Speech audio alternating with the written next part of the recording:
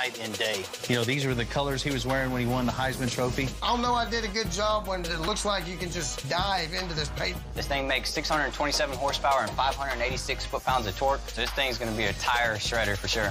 The old school 1934 Buick. And, yeah, A lot more power and a lot more reliability.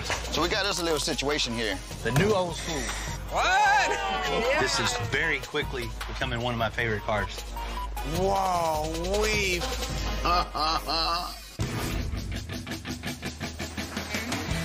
I'm Bill Carlton. I built my first truck when I was 16. And ever since, me and my guys have been out here creating with our hands. Building the biggest, lowest, baddest custom trucks and cars in the game. People don't come here for what they need, they come here for what they want. This is Texas Metal.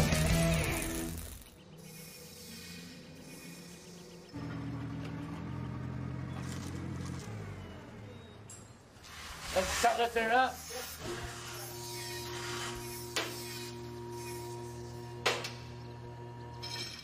Oh, that hasn't been separated in a long time, huh? Looks good. Everything roll it out. Yep, let's go. We're known for custom trucks, but you know, whatever rolls through the door, we're gonna get our hands on it and give the little extensive touch to it. And when we're building a 49 Cadillac for NFL Hall of Famer Earl Campbell, I mean, this guy's a living legend. So everybody in the shop's got to be on point and make sure this thing's gonna be perfect. You know, this car is special, and I'll say that about all of them, but this one's is definitely special. I think it's your turn, buddy, the finisher. Uh, I appreciate it, man. It's been months of metal work and body work just to get to this point. You know, when, when people see all the custom touches that are all throughout this car, they're gonna know it's Earl Campbell's. You know, it's always a little bonus in the day when you get something major done, like just pulling the frame out, getting it cleaned up, getting it loaded, off the powder coat. It's just a huge accomplishment. You know, considering how Earl's car came in to what it is now, finally feels like we're getting something done. Thank you. Well, this thing is gonna be a cool car.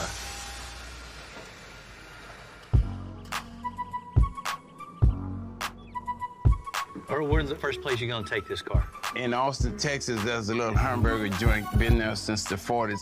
That's the spot. I hang out there. That's where That's the the cars spot. meet on uh, Thursday night. So that's gonna. Man, you make me hungry. I know. What's for lunch? Burgers?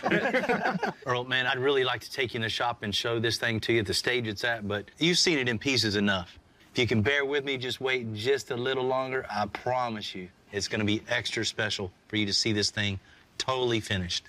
I can't wait, Bill. For the most part, Earl's just been leaving the design for the caddy to us. But you know, Earl called me a couple days ago, said he had some ideas for the, the color accents for the interior. I'm gonna tell you, man, I can't wait to see it. But when I was coming through town, I brought you some of UT that I like that interior to look like.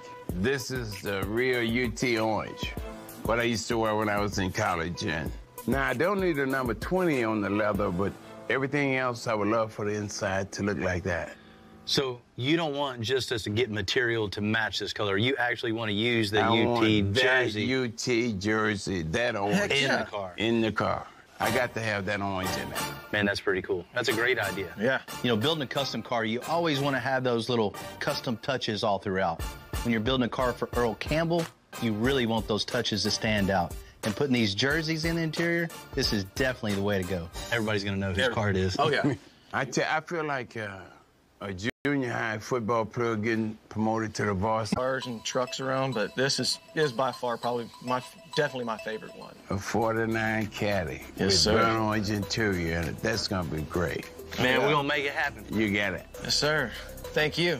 Shock me. Knock me out of my socks, but I'm ready. All right.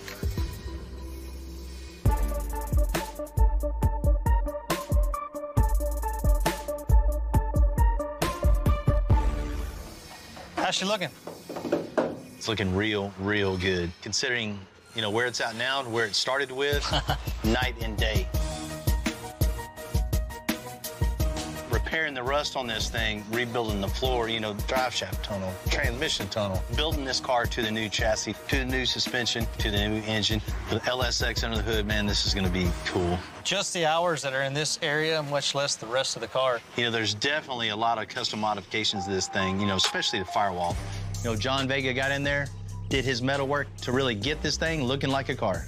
When Earl pops a hood on this thing, Man, he's gonna be so impressed.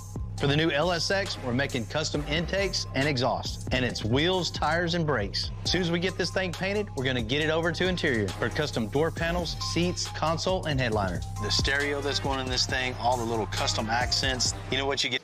49 custom Cadillacs, that's what you get for. you know, only thing left to do is just paint it and, and then everything else. Let's start with just the paint. Let's get it in the booth. Let's get it pushed in there.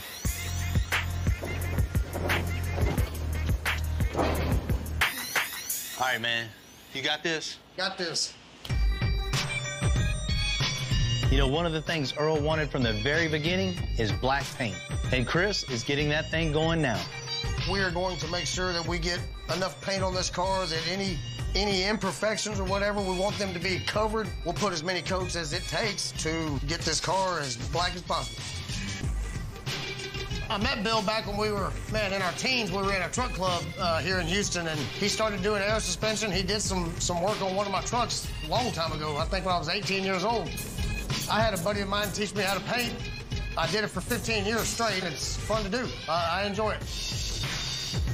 I grew up watching Earl Campbell play football, and you know, people are gonna see this car, and whoever knows it and who don't know it, at least I'll know I painted it. I'll know I did a good job when I can tell that it looks like you can just dive into this paint job because the color is gonna look so deep.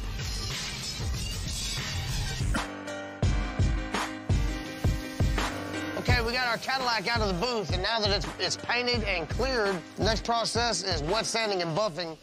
It has an orange peel texture, kind of leathery looking. That's why they call it orange peel. It looks like the, the peel of an orange. What we want to do is sand this down with our blocks of different sandpapers, get it slick as possible, and then we're going to come back and buff it to give it that nice mirror finish. The guys did such a good job on this firewall doing the bead rolling on it that I can't use this block on because it will burn the paint. When I say burn it, I mean sand through the paint. We have real problems if I do that. We'll block the flat areas with this block and sandpaper, and then we'll have to come back by hand and get around all the bead rolls with finer grit sandpaper. In doing this by hand, I can feel the edges more. I know where I, I can and can't go because, like I said, we do not want to burn this paint at this stage in the game. Okay, this is our last step in our wet sanding process. We've got 3,000 grit sandpaper on our DA sander. We'll run over this real quick and then we'll be ready to buff. And when we start buffing, that's what's gonna bring out that mirror shine that we're looking for.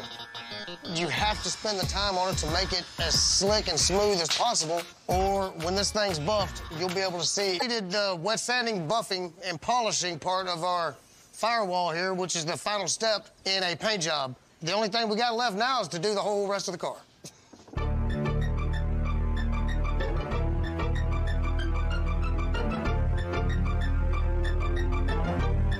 Most of the guys working here have spent their whole lives in Houston. John, you know, is a lifer too. He just couldn't wait to get going on the interior. Because for guys like us, you know, Earl's just a local legend. I'm getting ready to start the door panels and the interior on Earl's Caddy here. So what I've done is I've just laid out some templates on the doors and the panels all the way in. I got me a pencil, good eraser. We'll just sit here and figure out what we're gonna make here and try to get everything incorporated in all at one time and get everything drawn out so we'll see the whole design before we ever even start making the first piece. We got the basic sketch down of where we're headed to, so now it's just a matter of how do we get UT in here? We don't want to make it overpowering. It needs to stay kind of subtle and just an accent in the car. So what we might do is put some sort of insert spot behind that. Is a, that might work. After looking at the placement of where I've got this armrest in relation to the seat, it's gonna have to move up. So I'm really happy with the shape that I have of the armrest. So this is how these things work. You just sit here and stare at them and think about it a little while and it'll come to you. It'll all make sense. And that's why I like to just sit here early in the morning, quietly, enjoy my coffee, and sketch. So all I gotta do is just lift it up and stick it to another piece of board. We just stick that down. I'll take an Olfa knife, cut that out. That'll give me my template to work with so I can put this wherever I want it at on here. So what I'm thinking here is armrest just needs to move up about right there. That looks good. I like where we're headed with this.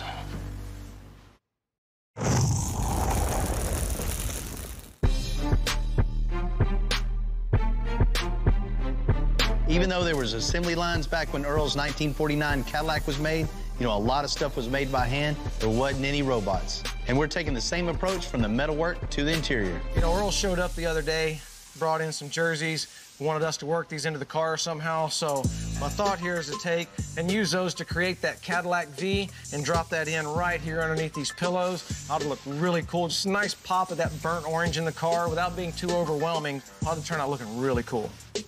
So the next thing we're gonna do is we're gonna lay out the rest of the seams on the seat. I'm gonna start laying out the bolts. Make sure I have everything lined up. I want the lines exactly where I want them. In the center, what we're gonna do is we're gonna draw out a two inch tuck and roll. It's just something that was used classically back in the hot rod days. Is basically they take and they, they roll the leather over and you tuck it in with some foam that actually makes these pillow tops. Just kind of keep it the old school feeling of the 49 Cadillac. And then we'll have that modern touch of this nice, hard, solid, shaped out pillow on the top here that still has that lean to the classic styles. All right. You know, everything in here's got a nice flow. We still got that classic feel to it with the tuck and roll. I think that's a little pop of orange up here in the top for these V's. It's gonna be just what we're looking for in these seats. Get these things out, get them into the trim shop, and we'll get them covered.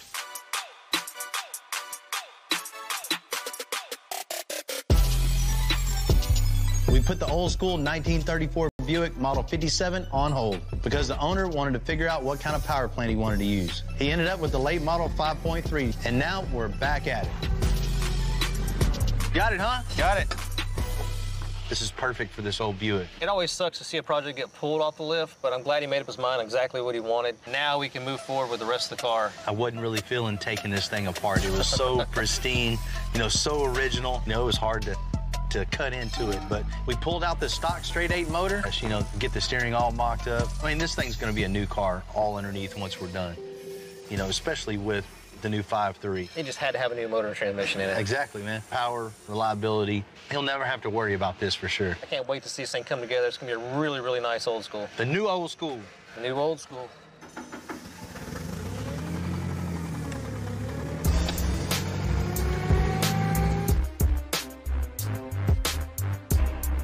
Freezing cold out here today, and we're about to go drop the LS into the Buick. The old school straight eight was big but narrow. You know, the new 5.3 is a lot wider than the straight eight. So once little one gets this thing in, we have to mock up a new steering configuration. All right, just make sure that it doesn't hit the headlight or the paint. Okay. Go ahead. In? Yeah. This engine's pretty dirty, but when we're done with it, it's gonna look spotless. Come in. Slowly, slowly. Watch the front bumper. Yeah. All right, we clear? Yeah. Now, we get that angle under it, then we need one more in the front, and then we can go ahead and start moving it around. There we go. That looks pretty good. Fully on its own in the car. The steering has to be moved now, too. You know, the owner still wants to keep as much of that original interior as possible. So we're trying to keep the old steering column. The key to work on these beautiful cars is you gotta do yoga at least once a week.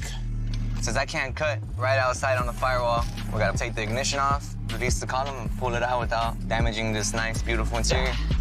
Beep, beep.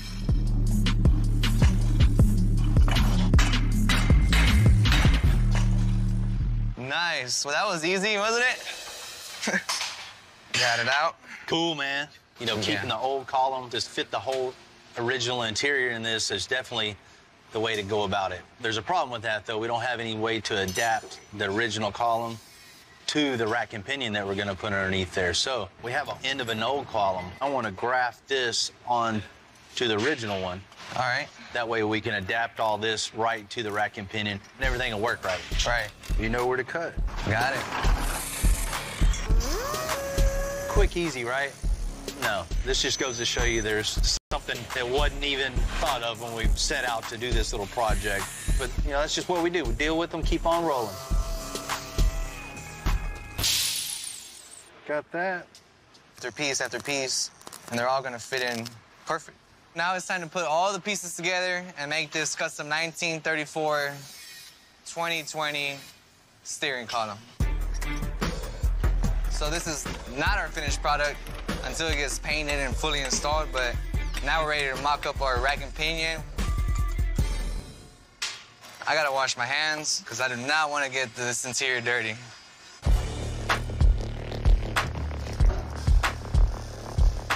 A while ago, we were sticking all the way here, almost touching the header. Now we're right at the firewall, exactly where we measured, exactly where we wanted it to be. From here, we can pivot around it, and we can go straight into our rack and pinion that's gonna end up being up there in the front.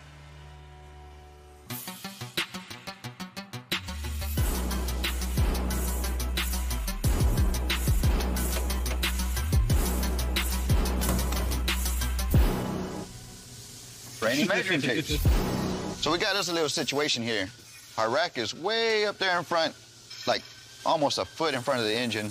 And with our column coming out like right behind the cylinder head, we need to detour our steering shaft around the exhaust header and then go back straight to the rack. So we have to make us like a on a heim joint. We got to get this thing as close as possible to the header without touching. That way it doesn't put this U-joint in so much of an angle, which is going to cause hard spots in your steering. We have three U-joints. There's nothing to hold it in the middle. We got to support it with this heim joint. And what this is going to do is hold this shaft in the center from moving around and hitting the headers and keep it off the frame as well. And what we're going to do is we're going to mount this to the chassis. That way it'll support this from moving around. We got everything in place. Now we're ready to give this a rotation. Check it out.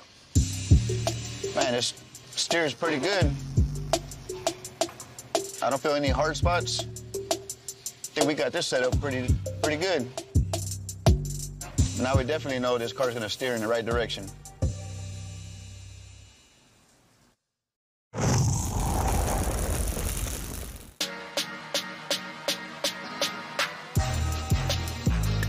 You're definitely not going to make a lot of new friends with the Buick crowd cutting into this original 34 Buick.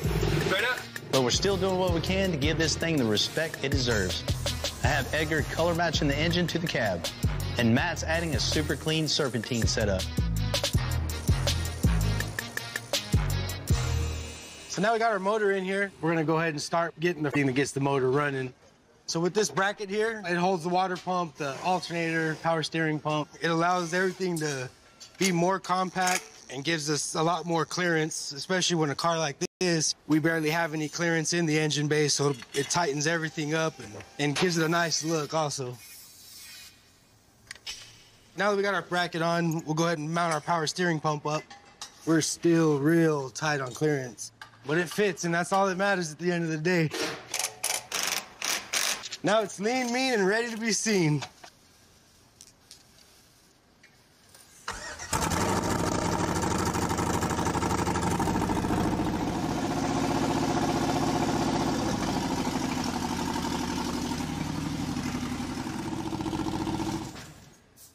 Got it.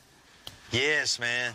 Definitely a big improvement from what was in it. A lot more power and a lot more reliability. And it kind of looks like it belongs. Yeah, it just looks right at home in this thing. Man, Matt, it's all downhill now, huh? Yes, sir.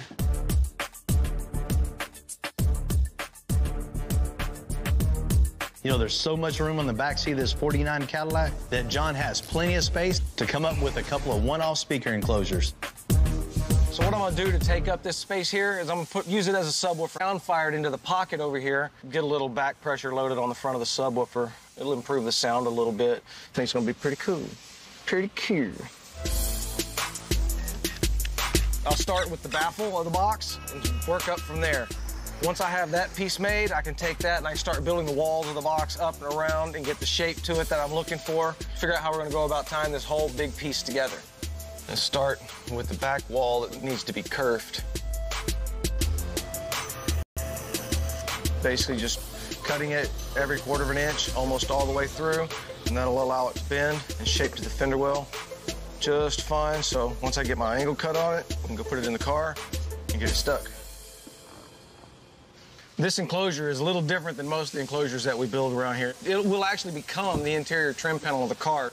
We'll make a top piece that comes out, but it won't come out all the way. It's only, it'll stop shy over here with some shape in it, and we'll bring it all back into here to go down. And this will turn into your armrest area up here. So when you're sitting in the back seat, you're in an armrest here, and this will all sculpt down towards the seat. In order for this material to make the shape that I want, I've made these ribs, and we'll put them around in a couple of places, and that'll give us something to attach our material.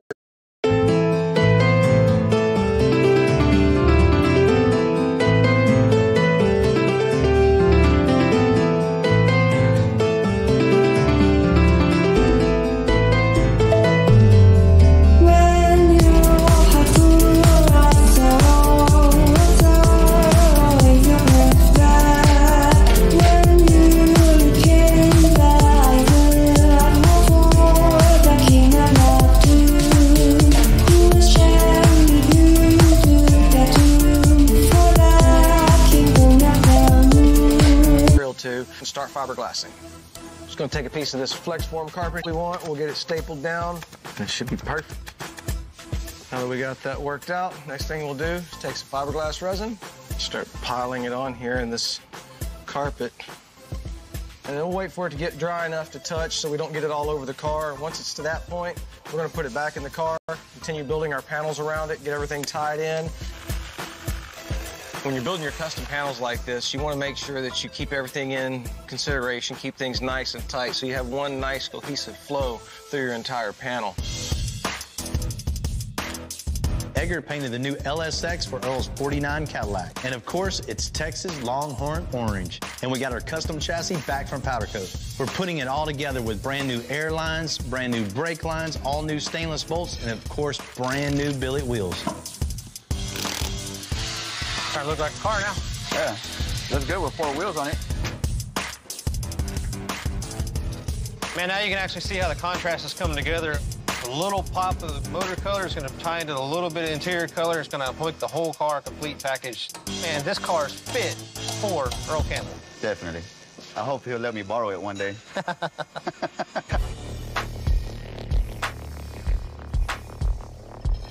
When you're getting the body ready to put it on the frame, and this, man, it just, it gets me excited. This is very quickly becoming one of my favorite cars. Badass 49 Caddy is about to be born today. I sure be liking that chassis because you probably set it down on there, huh? Yeah. Looking good. Looks real good. You know, these were the colors he was wearing when he won the Heisman Trophy. He's got to love this, right? Right. Man, especially being his first custom car. I'd be happy with this, my 100th custom car.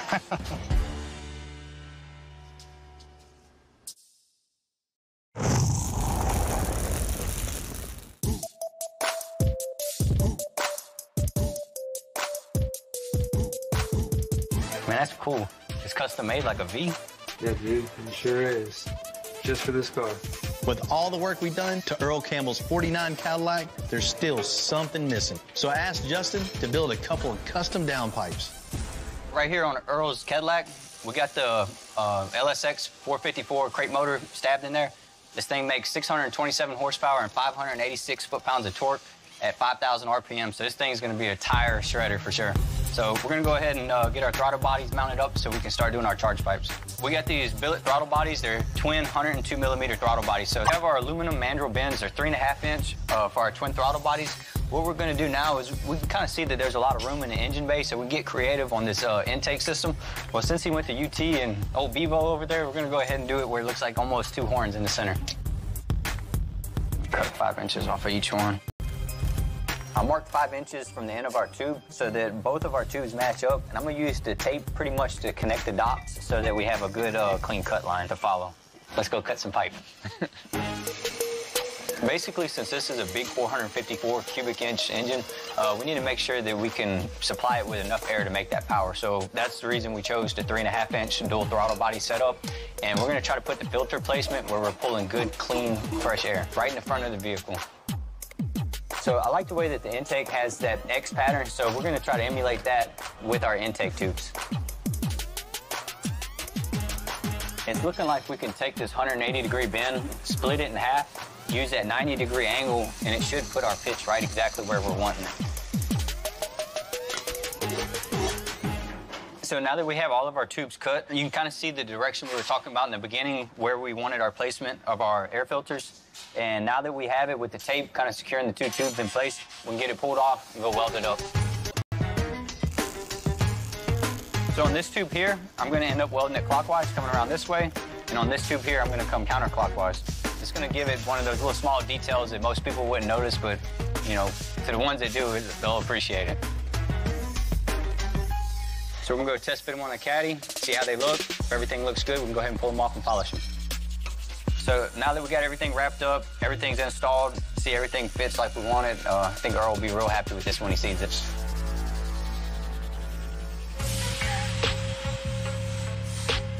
After a lot of hard work and some tough decisions, this 1934 Buick's finally done. You know, I was really reluctant about cutting out all the old factory suspension, but once we got into it, that's what we do. Bill called me and said the car was ready to come and look at it, so, uh, you know, I invited the guys, the Silveranos Car Clubs of Houston. All my friends are here, their cars are here. We're all excited to look at the Buick. What's going on, man? See you, man. Javier, how you doing, man? Good, good to see good. you. What's up, fellas? Hey, what's up? You got the whole crew out, huh? Oh, yeah. You know, after looking at your whole crew's cars, I can definitely see why you wanted to do what you wanted to do. Oh, yeah, man, I gotta keep up with them, so. Yeah. Your Buick now, it'd definitely fit in with the crowd for sure. Oh, I can't wait, man. I can't wait to see it. What? Hell, man. Man, she looks pretty. Damn, Lord. Oh, my God. Good deal, man. Awesome. All right, man. Good job, man. How you doing, man? Man, what you think about that thing? Man, it looks good. Beautiful. I love the way it looks, the stance, the wheels. You know, first things first, we got this thing on the lift and just started fresh with a new rear end, built independent front suspension for it with all air all the way around. All that right. thing's gonna ride good, handle good, and be reliable for sure. Now you know why I'd ask you to do what I want to do, right? You know, Javier, I gotta admit, once this thing's down on the ground like that, man, it changes the whole look. Yeah. Definitely made the right decision for sure. Yeah. One other thing you wanted was the reliability and some power under the hood, right? Right. Well, let's check out under the hood. Oh, what? Man, that looks good. How'd you fit that thing in there? Started out ripping that old engine and trans out and just getting a pull-out 5.3, stripping it all down, really dressed it up, make it look good. So when you pop the hood, you got something to be proud of. Man, wonderful. It was tough, but definitely worth it. We had to do a vintage air front runner kit to kind of tighten all the pulley system up because there's such a narrow frame in it. We had to custom make all the steering to get around the headers. The old engine looked like an antique. This is state of the art. This car went from being real cool to real gangster. You probably got 10 times the power Yeah. that this thing came with. we'll see if you can keep some tread on these old cokers here. All right, can't wait. Taking a late model engine, sticking in such an antique car, you'd think it'd probably stick out. But all the work we put into this engine, making it look the way it does, it's like it was made for this car. What do you guys think, man? You gonna let this guy cruise around with you? Yeah. I'm so happy now that I can just get in this car, start it up, and show it off. Thanks a lot, man. You're welcome, man. Appreciate it. Yeah, thank you, man. Appreciate it. Yeah. All right. You know, sometimes in this business, you really got to lean on your guys. You know, on the caddy, we really had to lean on John. You know, he's really coming through. Every little detail he's adding is 100. We get started on the rear deck for the 49 Caddy. We're gonna start by cutting out our base out of MDF. We'll take that over to the car, get that in place, and start building it up from there. The back deck has a curve in it, so we'll make two pieces. I'm gonna take some fiber all here mix it up and use that to actually put these two pieces together. Want to make sure we get a good bond on this, especially with it being up here in the rear deck of the car. You know, that's it takes a lot of heat up here. We want something that's really gonna be able to stand up and not give us. This will be the riser that'll come up from the rear deck that helps tie it into the back of the seats. All right, we got this thing all dried up, positioned, ready to go. So I'm gonna pop this thing out, take it across the way, put it on the table, we'll finish it out there.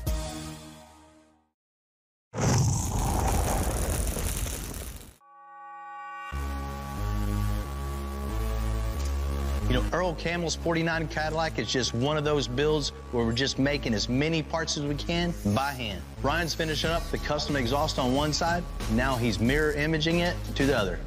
The first side is always the easiest. Mirroring it is the hardest part about it. It's just a lot of marking, fine tuning, a bunch of small cuts until you get that final exact perfect fit that we're looking for. And you know, it's easier to cut a little bit at a time than cut a whole bunch and then have to either add or go find another piece and start all over again. Well, the reason I'm putting the V-band here is because the muffler and all that, all the way to the header is all one piece right now. If we ever need to service this, we can take it off in different sections rather than one full piece. Houston, 40 degrees in the morning, 80 degrees at lunchtime. Now, this point of the exhaust is the most complex what I had to work with and just the limited amount of space. So trying to make this work and flow and not cause any restriction and also clear everything is pretty tricky, but hopefully I can get exactly what I'm looking for out of this and make it go all the way dump out the back instead of stopping right here. All right, so I didn't let it beat me. We were able to make it come all the way out to the back. That's gonna look tight from the back. Whenever you're driving behind it, see that? That's gonna look dope. So now all we got left to do is just make some hangers, drill some O2 bungs, weld it all up, and throw it back in the car. I think if Earl ever gets to take a look underneath this car, he should be very happy. I know I am. What's up, man? What's going on, Bill?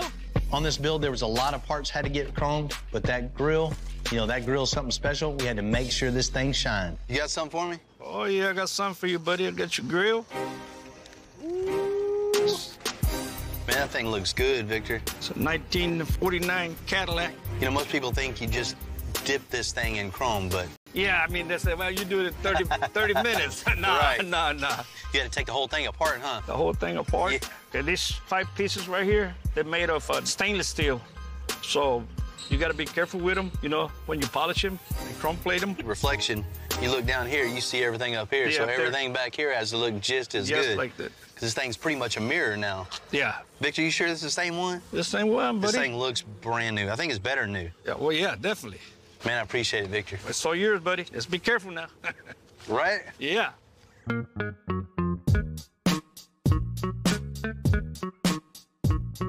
You know, a ton of interior work's been done to this 49 Cadillac, but there's still a ton more to go. You know, John's got his work cut out for him, building custom speaker pods, cup holders, and pockets. Man, these door panels are gonna be cool.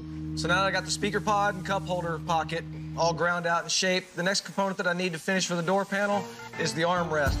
So I'll just take my template here, just gonna trace it out. I'll come in and rough cut it, and we'll route it.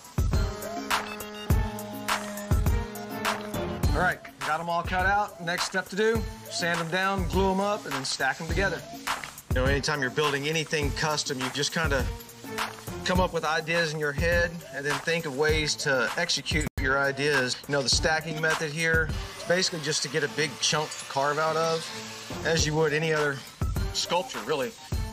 So the next thing you gotta do is gotta put the hand pull in this thing. I've got a template here, so I'll have it for both sides, trace it out, so we have some place to put fingers, grab a hold of it, and close it. You know, Earl came in the other day. He had a challenge. He really wants to get this UT burnt orange color in the car. We're gonna take this, cut it up, and wrap a few pieces. That will work.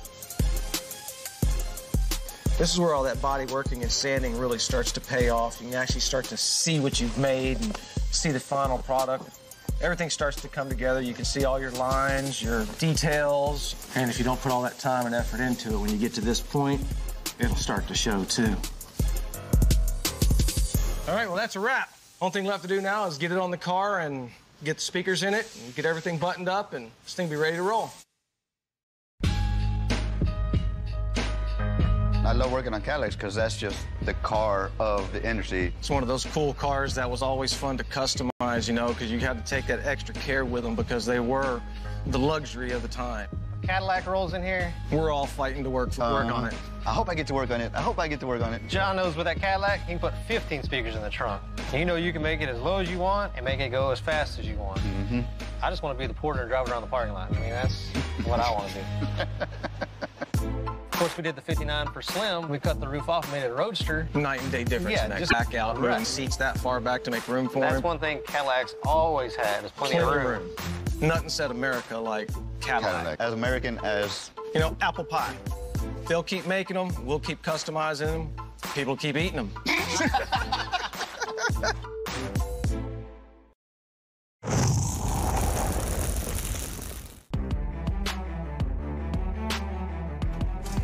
can remember being young and my dad watching Earl Campbell just killing people every week. He just rooted for him, you know, every time he played.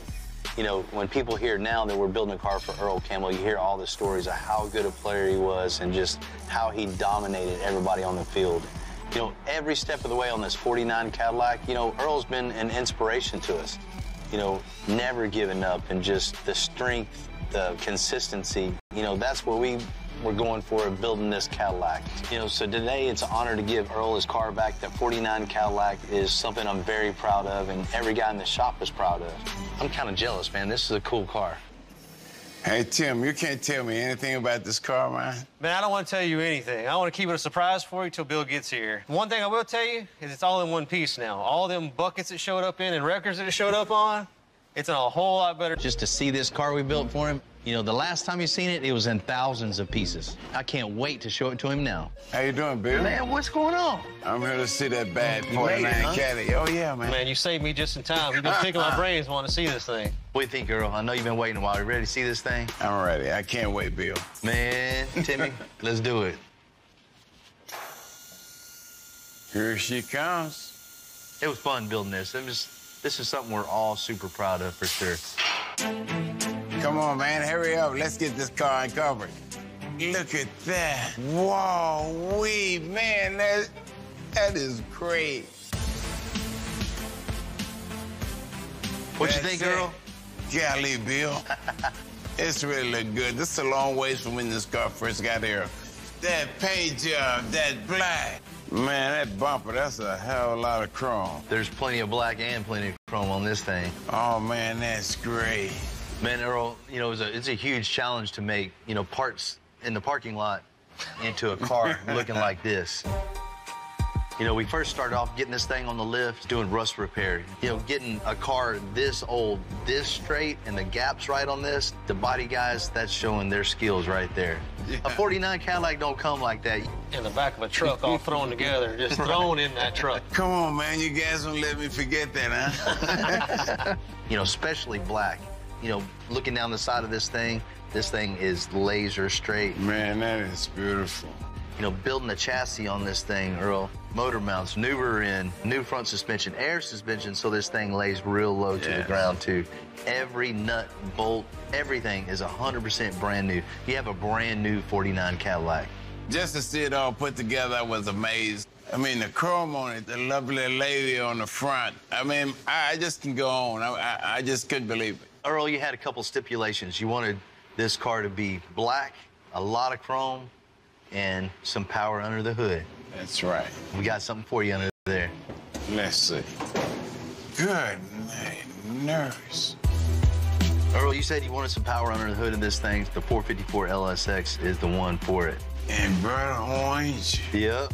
That's great, man. Building all new firewall in this thing, all new sheet metal molded onto the fenders, new core support.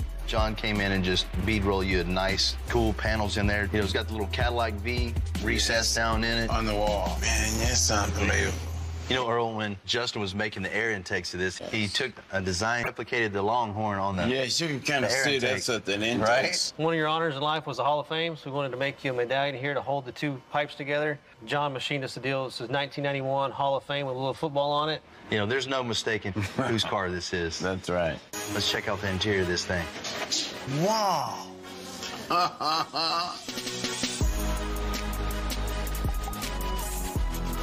Man, last time you seen this thing, there was just piles and piles and piles of parts for the interior on this thing, right? yes, man, it's got the burnt orange on the door. Man, we know you had to have that, that UT orange. We used the actual jerseys that you brought. We cut them up and sewn them into the interior itself. All this is handmade by old John Burgess himself. Yes, they did a great job. You know, it's got you a little something special back there in the rear deck as well. Yes. You get the little Telling you. longhorns incorporated in the back, all the way up into the Dakota Digital gauges. Man, there's some special numbers in your life of what you've been through. So 20, you were a Heisman at UT. That's right. 34, you were a Houston Oiler, and in 91, you went to Hall of Fame. That's right. There's no doubt everything in this car says Earl Campbell. I mean, they, they went out of their way and beyond. I mean, you couldn't ask for anything more. Oh, man.